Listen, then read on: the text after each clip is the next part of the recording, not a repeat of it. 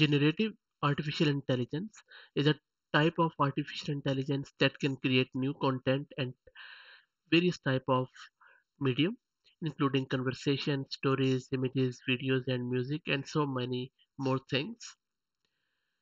Like all other cloud providers and companies which are at the top right now, AWS is also trying its best to catch up in terms of AI models and AI tooling.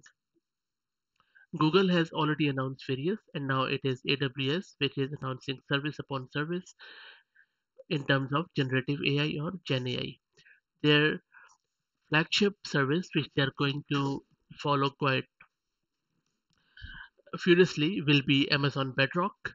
Amazon Bedrock is a service which provides you an API access to various foundational models. These foundational models are will be collected under the umbrella of Amazon Titan. I have two separate videos where I discuss what exactly is Amazon Bedrock and what is AWS Titan. In this video, I'm going to give you a bit more detail around AWS Bedrock, which provides you again an API access to all of these foundation models, which are pre-trained models on large data sets. What you can do is you can grab the base foundation model from AWS Titan, then point your AWS Bedrock service to that model, and then also train that model as per your own organization's data in a secure way. Now, you can see that you can sign up to learn more about this service at AWS website because it is still in limited preview and not generally available. So, but you can sign up to it. Next, you can see that there are various foundation models available such as um, some models from AI21 Labs, Anthropic, Stability AI, and even from Amazon itself.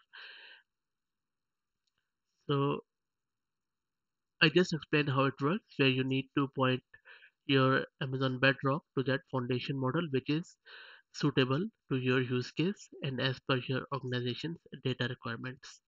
Once that's done, you can train that model. And there are various use cases where you can use gen ai or this aws bedrock as of now. You can use it to do the text generation. Uh, you can create an intelligent chatbot intelligent search capabilities image generation and then you can also tailor the experience for your organization's tooling by using gen ai and this is just in limited preview so these are the six general use cases which you can do with any GenAI application.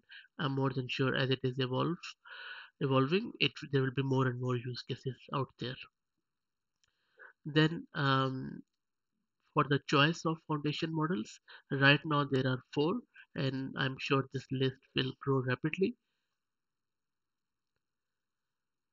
So there are a few resources which you can follow up from AWS, and it is not it is still a bit stale because this is from um, a bit from last year, but I'm sure that AWS will be populating and enriching this page more and more. And I will put the link to this page in the video's description. And this is a generic training.